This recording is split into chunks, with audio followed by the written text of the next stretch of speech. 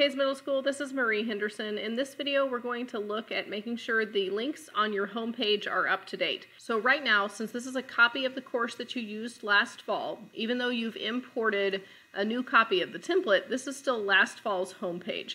And so it's linked to the agenda that you last used last fall. And it's linked to the class at a glance page that you used with your students last year and the units and resources page, etc. And so you just need to update these links as needed. Now, if you're planning to use your class at a glance page exactly as you used it last fall, and maybe all you need to go do is, is update your syllabus or change dates on that page if they're incorrect or make a few tweaks to the information you shared, you don't actually have to change the link that you're already using here. But if you're wanting to start from scratch, you may want to link to the new class at a glance page that came in with the template that you imported just now.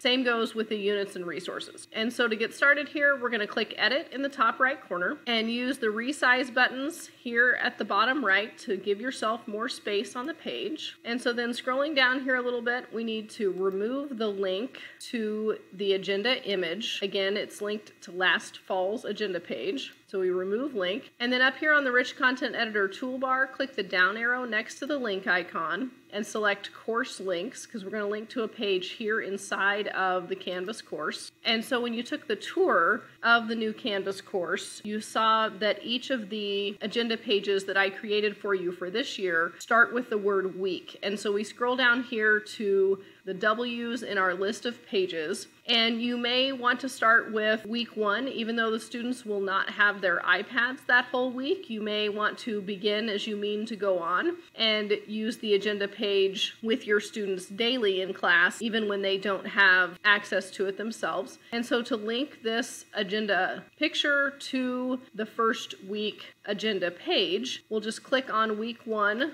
August 18 through 20, and we see it flash over here.